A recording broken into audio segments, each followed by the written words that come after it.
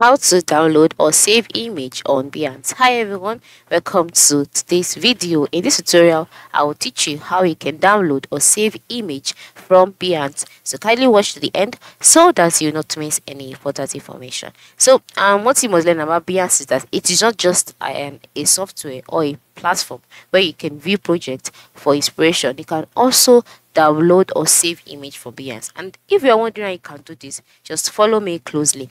The first step um, is to log in into your Behance account. Once you're logged in and you're on this page, you can see different function, different options. Yeah. So by the time you scroll down, you can see different projects, right?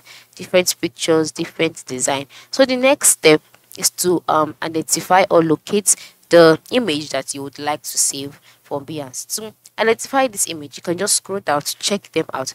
Or you can decide to search by clicking on this search icon here and they can search for the item or the image that you want to save manually. But instead in this tutorial i'll just be clicking on a project here.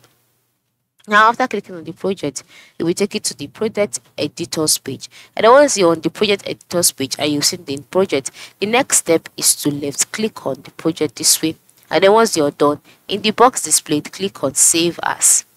And after clicking on save as a box will be displayed by the left side of the screen where you'll be asked where you want to save the image to the file name etc and then once you're done click on save and then just like that that image will be saved to your device from Behance. It is very simple, right? Yes, so this is basically how you can save or download image from Behance. I hope this tutorial has been helpful.